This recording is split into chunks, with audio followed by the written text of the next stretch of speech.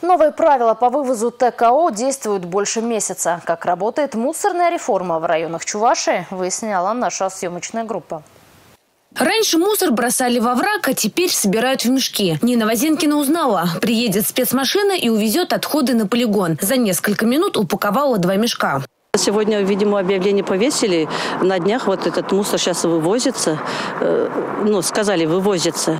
Процесс происходит так. Глава сельского поселения сообщает о наличии мусора регоператору, а тот уже отправляет машину по графику. В этом сельском поселении шесть деревень. Сейчас э, два раза уже вывозили, народ уже начинает понимать. Я думаю, в дальнейшем все уладится, все нормально будет. Пока э, квитанции не получали, но разговор люди пока еще не знают.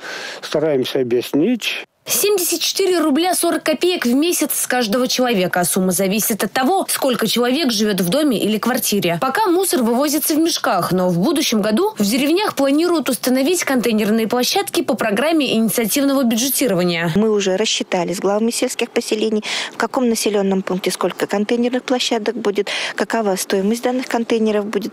И на сегодняшний день ведется работа по подготовке документации на участие в конкурсе.